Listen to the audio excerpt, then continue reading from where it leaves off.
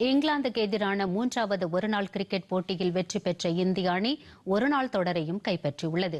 இங்கிலாந்தில் சுற்றுப்பயணம் மேற்கொண்டுள்ள இந்திய அணி மூன்று போட்டிகளை கொண்ட ஒருநாள் தொடரில் பங்கேற்றது. இரு அணிகளும் தலா ஒரு போட்டியில் வெற்றி பெற்ற நிலையில் கடைசி மற்றும் மூன்றாவது ஒருநாள் போட்டி மான்செஸ்டர் மைதானத்தில் நேற்று நடைபெற்றது. டாஸ் வென்ற இந்திய அணி பந்துவீச்சை தேர்வு செய்தது.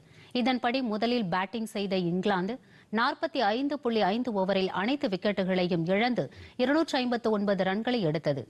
அதிகபட்சமாக ஜோஸ் பட்லர் அறுபது ரன்களை எடுத்தார். இதையடுத்து இருநூற்று அறுபது ரன் என்ற இலக்குடன் களமிறங்கிய இந்திய அணி நாற்பத்தி இரண்டு புள்ளி ஒரு ஓவரில் இலக்கை எட்டி ஐந்து விக்கெட் வித்தியாசத்தில் வெற்றி பெற்றது. கடைசி வரை ஆட்டமிழக்காத ரிஷப் பந்த் நூற்று இருபத்தி ஐந்து ரன்களை குவித்தார். இதன் மூலம் இரண்டுக்கு ஒன்று என்ற கணக்கில் இந்திய அணி தொடரை கைப்பற்றியது.